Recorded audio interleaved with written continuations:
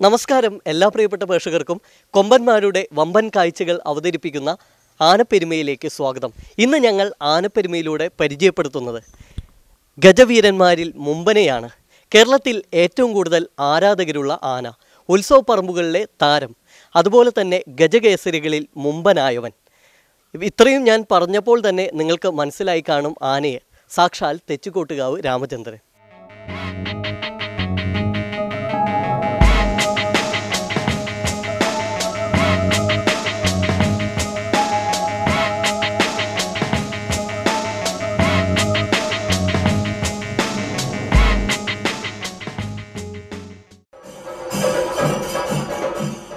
ഉത്സവ പറമ്പുകളിൽ തലയുയർത്തി പിടിച്ച് എഴുന്നള്ളി നിൽക്കുന്ന ഗജവീരന്മാരെ മതിമറന്ന് നോക്കി നിൽക്കാത്തവരായി ആരുണ്ട്? ഒരു ഗജമുഖനെ പ്രതിഷ്ഠിക്കാത്ത മനുഷ്യ മനസ്സുകളും വിരളമായിരിക്കും. അതുകൊണ്ട് തന്നെ നമ്മുടെ സാഹിത്യത്തിലും കലയിലുമെല്ലാം ഈ തലയെടുപ്പിന് ഒഴിവാക്കുവാനാകാത്ത സ്ഥാനവുമുണ്ട്.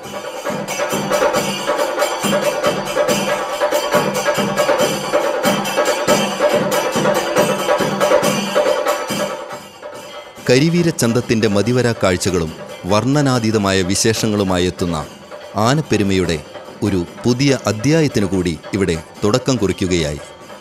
ഇന്ന് ഞങ്ങൾ ആനപ്പെരുമയിലൂടെ അവതരിപ്പിക്കുന്നത് യാതൊരുവിധ വിശേഷണങ്ങളും പരിചയപ്പെടുത്തലുകളും ആവശ്യമില്ലാത്ത ഒരു കരിവീര കേസരിയെയാണ് മലയാള മണ്ണിലെ ഉത്സവ പറമ്പുകളിൽ മാത്രമല്ല ലോകത്തിന്റെ നെറുകയിൽ തന്നെ സ്ഥാനമുള്ള സമാനതകളില്ലാത്ത ഉയരത്തമ്പുരാൻ തെച്ചിക്കോട്ടുകാവ് രാമചന്ദ്രൻ.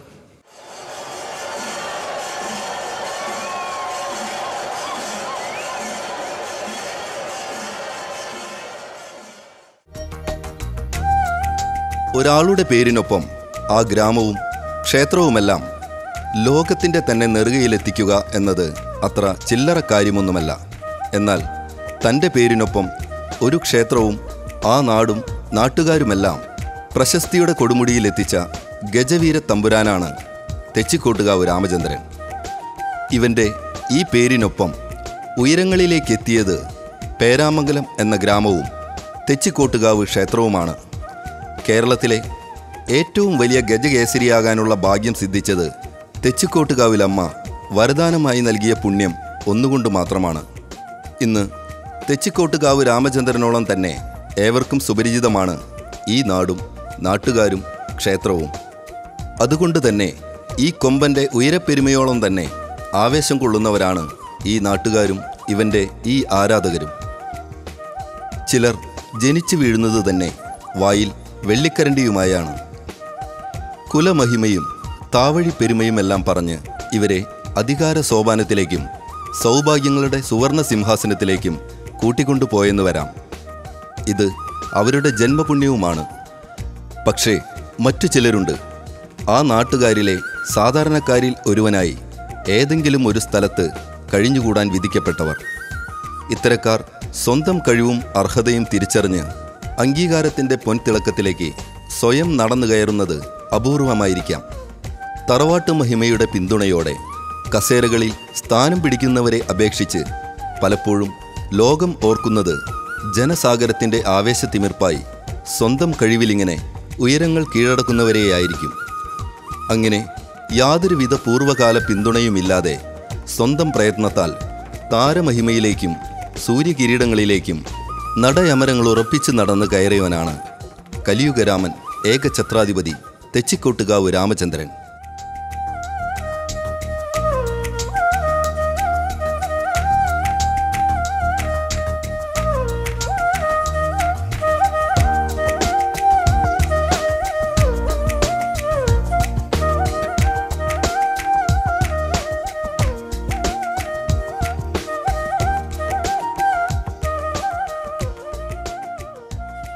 വർഷങ്ങൾക്ക് മുൻപ് പ്രദേശത്തെ ഒരു ചെറിയ ചായക്കടയിലുണ്ടായ വാതുവയ്പ്പാണ് രാമചന്ദ്രന്റെ ഈ ക്ഷേത്രത്തിലേക്കുള്ള വരവിന് വഴിയൊരുക്കിയത്.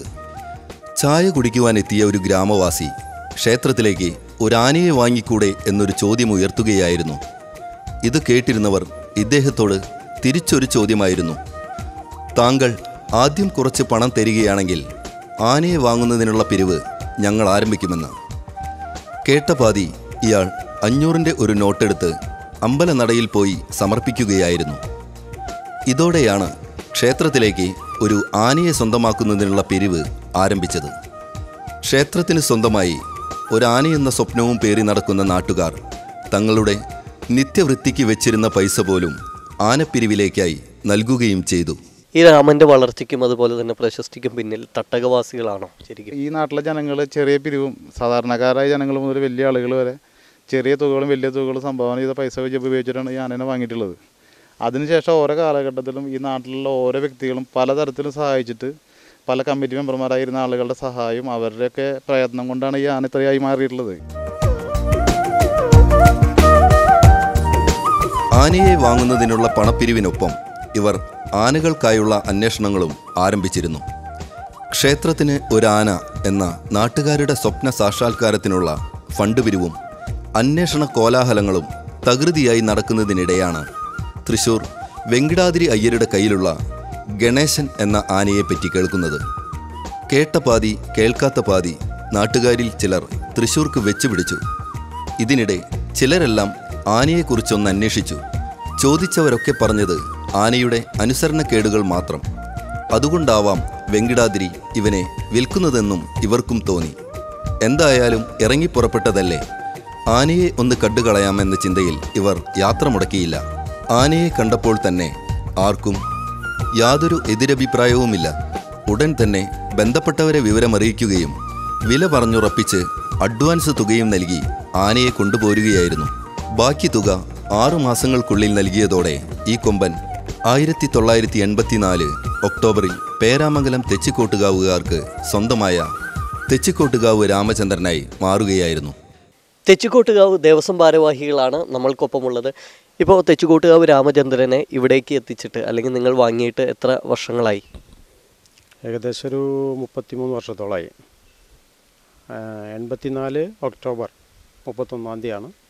ഇന്ദിരാഗാന്ധി മരിച്ച ദിവസം അന്നാണ് രാമനെ തെച്ചിക്കോട്ടാവ് ദേവസ്വം വാങ്ങി ഇവിടെ നടത്തിയിട്ടുള്ളത്. ഇപ്പോൾ ആദ്യകാലത്ത് ഒട്ടേറെ പ്രശ്നങ്ങളുണ്ടായിരുന്നു. അതുപോലെ തന്നെ ചിലപ്പോൾ ഉത്സവ പറമ്പുകളിൽ നിന്നും വരെ മാറ്റിയൊരു സാഹചര്യം ഉണ്ടായിരുന്നു. അപ്പോൾ അതൊക്കെ ഇപ്പോൾ മറികടക്കാനായോ എങ്ങനെയാണത് ആദ്യകാലത്ത് എന്ന് പറയുമ്പോൾ വളരെ മുമ്പ് ചെറുപ്പത്തിൽ ഉണ്ടായ ചില കുസൃതികളും ചെറിയ വികൃതിത്തരങ്ങളൊക്കെ ഉണ്ടായിരുന്നു. പക്ഷെ ഇപ്പോൾ അതൊക്കെ മറികടന്നിട്ടുണ്ട്. ഒരു അഞ്ചെട്ട് മൂന്നാലഞ്ച് വർഷത്തോളമായിട്ട് ഒരു ചെറിയ ഇൻസിഡന്റ് പോലും ഇല്ല. വളരെ നല്ല രീതിയിലാണ് സീസൺ പൂർത്തിയാക്കി കൊണ്ടുവരുന്നത്.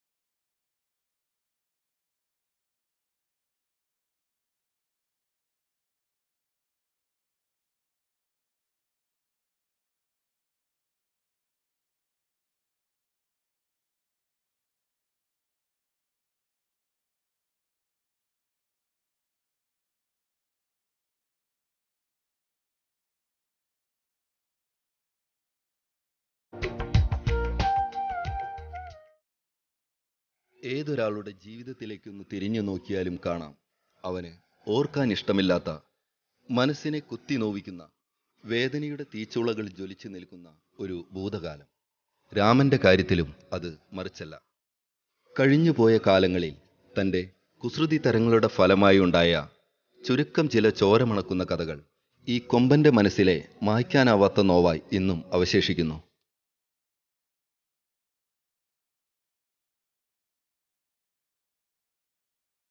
ക്ഷേത്രത്തിലെത്തി വർഷങ്ങളോളം യാതൊരു പരിവേഷങ്ങളുമില്ലാതെ സാധാരണ ഒരു ആനയായി ജീവിച്ചു പോരുന്നതിനിടെയാണ് ഉത്സവ പറമ്പുകളിൽ ഒരു സൂര്യ തേജസ്സായി ഉദിച്ചുയർന്ന രാമചന്ദ്രൻ എന്ന ഈ സഹ്യപുത്രനായി ചരിത്രം വഴിമാറിയ ദിനം വന്നെത്തിയത്. അന്ന് വടക്കാഞ്ചേരി കുറ്റിയങ്കാവ് പൂരം. പൂരത്തിന് പേരാമംഗലത്തെ കൊലകൊമ്പൻ വരുന്നുണ്ട്. പട്ടാമ്പി ബാലനാരായണൻ ആനയ്ക്ക് പറ്റാനയായാണ് ഇവന്റെ വരവ്. ആ വാർത്ത വടക്കാഞ്ചേരി ദേശത്തും പൂരപ്പറമ്പിലുമാകെ ഒരു കാട്ടുതീ പോലെ പടർന്നു. കൂട്ടാനകളെ കുത്തുന്ന ആന തിരുവമ്പാടി ചന്ദ്രശേഖരന്റെ കൊലയാളി തുടങ്ങിയ ചീത്തപ്പേരുകൾ പേറി തെച്ചിക്കോട്ടുകാവിലെ ചെമ്മണ്ണിൽ തളയ്ക്കപ്പെട്ട് കിടന്നിരുന്ന ആ കൊമ്പന്റെ വരവിനായി കുറ്റിയങ്കാവ് പാടം കാത്തിരുന്നു. ബാലനാരായണനും കർണനും പട്ടത്ത് ശ്രീകൃഷ്ണനുമെല്ലാം പൂരപ്പറമ്പുകളിൽ തലയെടുപ്പുള്ള താരങ്ങളായി നിറഞ്ഞാടുന്ന കാലം. ചട്ടക്കാരിൽ അഗ്രഗണ്യനായ കടുവ വേലായുധനാണ് അന്ന് രാമന്റെ സാരഥി.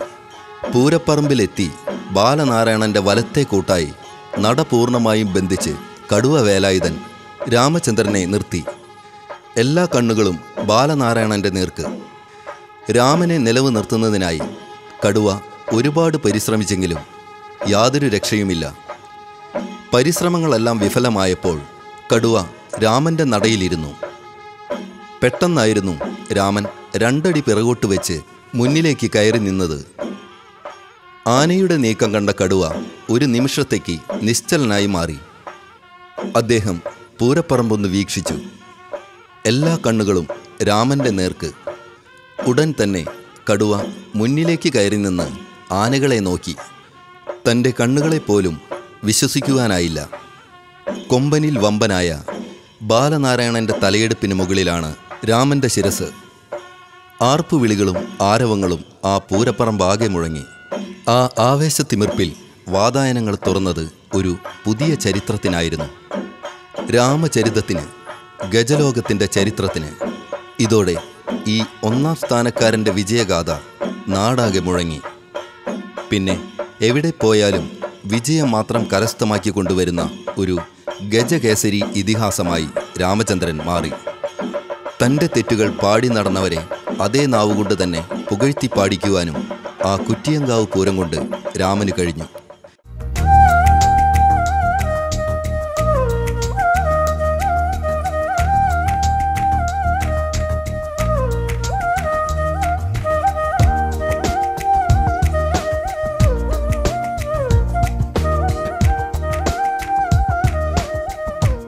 എല്ലാ ലക്ഷണ തികവുകളും ഒത്തിണങ്ങിയ ഈ ഗജശ്രേഷ്ഠന്റെ സൗന്ദര്യം വർണനാതീതമാണ്. എങ്കിലും ഇത്രയും ഉടൽനീളമുള്ള ഒരാന വേറെയുണ്ടോ എന്ന് തന്നെ സംശയമാണ്. അതുകൊണ്ട് തന്നെയാകാം ഏറ്റവും അധികം ആരാധകരുള്ള ആനപ്പിറവിയായി തെച്ചിക്കോട്ടുകാവ് രാമചന്ദ്രൻ എന്ന ഈ ഗജവീരൻ മാറിയതും. ആരാധകരുടെ കാര്യത്തിൽ മാത്രമല്ല ഇവനെ തേടിയെത്തിയ അംഗീകാരങ്ങളുടെ പട്ടിക നോക്കുകയാണെങ്കിലും നമ്മൾ അതിശയിച്ചു പോകും. കലിയുഗരാമൻ ഏക ഛത്രാധിപതി ത്രിലോക ഛത്രാധിപതി ഏക ഛത്രാധിപതി ഗജരാജ ചക്രവർത്തി ഗജലോകനാഥൻ ഗജരാജശ്രേഷ്ഠൻ തുടങ്ങിയ പട്ടങ്ങൾ ഇതിൽ ചിലതു മാത്രം. കൂടാതെ രാമനാർമി എന്ന ഒരു ഫാൻസ് അസോസിയേഷൻ വരെ ഇവനു വേണ്ടി പ്രവർത്തിക്കുന്നുണ്ട്. പിന്നെ നവമാധ്യമങ്ങളിലും രാമന്റെ പേരിൽ നിരവധി ഫേസ്ബുക്ക് പേജുകളും വാട്സപ്പ് ഗ്രൂപ്പുകളുമുണ്ട്. ആനകളിലെ സൂപ്പർ സ്റ്റാറായ തെച്ചുകോട്ടുകാവ് രാമചന്ദ്രൻ എവിടെ എത്തിയാലും ആരാധകർ പിന്നാലെ കൂടും.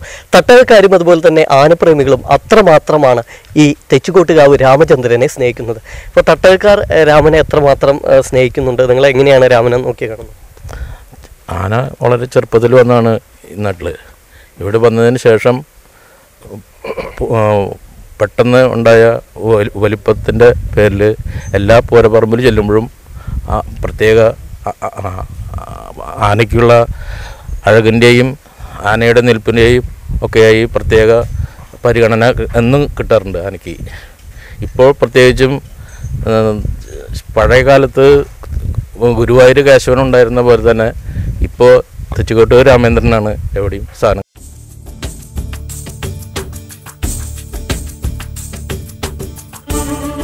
ആദ്യകാലങ്ങളിൽ കുറച്ച് പ്രശ്നങ്ങളൊക്കെ നമ്മുടെ രാമന്റെ ഭാഗത്ത് നിന്നുണ്ടായിട്ടുണ്ടെങ്കിലും ഇപ്പോൾ നല്ല പക്വതയുള്ള ഒരാനയാണ്.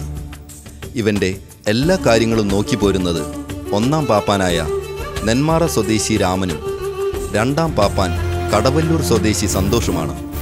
അപ്പൊ ആനയെ അത്രമാത്രം അടുത്തറിയുന്ന ഒരാൾ മുൻ പാപ്പാനായിരുന്നു. അപ്പൊ ആനയുടെ സ്വഭാവങ്ങളെ പറ്റി പറയുകയാണെങ്കിൽ എങ്ങനെയാണ്?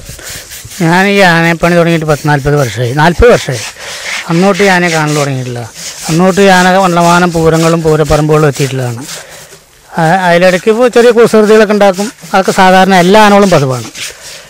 അപ്പോൾ ഈ ആനയ്ക്ക് മാത്രമായിട്ട് ഇപ്പോൾ പുതിയൊരു രണ്ട് മൂന്നാലഞ്ച് കൊല്ലം വെച്ചിട്ട് കാരണം വെച്ചാൽ ഈ ആന കേരളത്തിലൊരു വലിയ ആനയാണ് എന്നുള്ളൊരു ധാരണ വെച്ചിട്ട് പലവരും അതിന് എതിർപ്പുള്ളവരും ഉണ്ട്.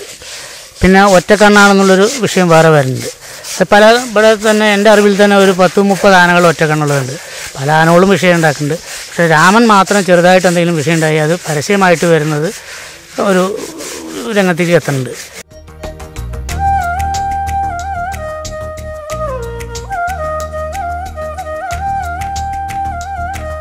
മതപ്പാട് സമയത്ത് പാപ്പാന്മാരൊഴിച്ച് ആർക്ക് വേണമെങ്കിലും ഇവന്റെ അടുത്തെത്തി ഭക്ഷണം കൊടുക്കാം.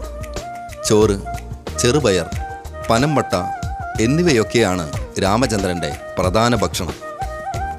കാണാൻ വരുന്നവർ രാമന് പട്ട കൊടുക്കുകയാണെങ്കിൽ അത് വാങ്ങിക്കഴിക്കുന്നതിന് യാതൊരു പ്രശ്നവുമില്ല. പക്ഷേ അടുത്ത തവണ വരുമ്പോഴും പട്ട കിട്ടണം എന്ന് മാത്രം. പട്ട കൊടുത്തയാൾ വരുന്നത് കണ്ടാൽ മാത്രം മതി. കഴിക്കുന്ന പട്ട നിലത്തിട്ട് പുതിയ പട്ട കിട്ടുന്നതും കാത്തു നിൽക്കുന്ന സ്വഭാവവും രാമനുണ്ട്.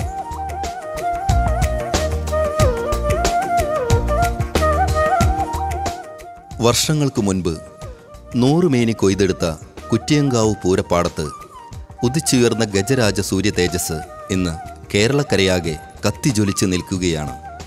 താരോദയം മുതൽ ഈ നേരം വരെ അണിഞ്ഞ പട്ടങ്ങളും ഇവന്റെ ശിരസിലേറിയ ദൈവങ്ങളും വർണനാതീതമാണ്. കൊമ്പന്മാരിൽ മുമ്പനായി രാജാതിരാജനായി ഇവൻ തന്റെ അശ്വമേധം തുടരുകയാണ്.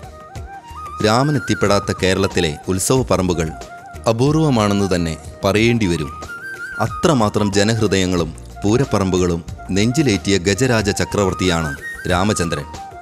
രാമൻ ഓരോ ഉത്സവ ലഹരിയിലേക്ക് നടന്നു കയറുമ്പോഴും എണ്ണിയാലൊടുങ്ങാത്ത ആരാധക വൃന്ദം ആവേശത്തോടെയാണ് സ്വീകരിക്കുക. നെറ്റിപ്പട്ടവും ആലവട്ട വെഞ്ചാമരവും മേളക്കൊഴുപ്പുമെല്ലാം ഇവനെ ലഹരി പിടിപ്പിക്കും. പൊൻതിടമ്പ് ശിരസിലേറിയാൽ പിന്നെ ആ ലഹരിയിൽ സ്വയം അലിഞ്ഞ് രാമൻ തന്റെ ഉയരത്തേക്കാൾ ഒരു പടി കൂടി തലയെടുപ്പോടെ നിലകൊള്ളുന്ന കാഴ്ചയും ആരെയും ആവേശത്തിന്റെ കൊടുമുടി കയറ്റും. കൂട്ടുകൂടുന്ന മനവും പോർ വിളിക്കുന്ന എതിരാളിയെയും ഒരുപോലെ കൂടെ കൂട്ടിയാണ് രാമരാജാവിന്റെ പ്രയാണം. രാമരാജ്യത്തിന്റെ അതിർവരമ്പും രാമപ്രജകളുടെ എണ്ണവും ഇന്ന് സാഗരം പോലെ അനന്തമാണ്. അവരോടൊപ്പം ഈ തേരോട്ട വീതിയിൽ തലയുയർത്തി പിടിച്ചുകൊണ്ട് തന്നെ തെച്ചിക്കോട്ടുകാവ് രാമചന്ദ്രൻ എന്ന ഈ ഗജവീരകേസരി ഹർഷാരവങ്ങളോടെ നടന്നു കയറുകയാണ് ഇനിയും വിജയഗാഥകൾ രചിക്കുവാൻ. അഴകിലും തലയെടുപ്പിലും മസ്തക ഉയർത്തിയിലുമെല്ലാം വമ്പനായ തെച്ചിക്കോട്ടുകാവ് രാമചന്ദ്രന്റെ കഥ സിനിമാ സ്റ്റൈലിനെ വെല്ലുന്നതാണ്. ചെങ്ങല്ലൂർ രംഗനാഥനും ഗുരുവായൂർ കേശവനുമൊക്കെ തലയെടുപ്പോടെ വാണകാലം ഉണ്ടായിരുന്നു പണ്ട്. ഇന്ന് രാമചന്ദ്രന്റെ കാലമാണ്. രാമൻ ജൈത്രയാത്ര തുടരുകയുമാണ്. ഇതോടെ ആനപ്പെരുമയുടെ ഒരു അധ്യായോടെ സമാപിക്കുകയാണ്. അടുത്ത എപ്പിസോഡിൽ മറ്റൊരു ആനവിശേഷവുമായി നമുക്ക് കണ്ടുമുട്ടാം. നന്ദി നമസ്കാരം. Good bye.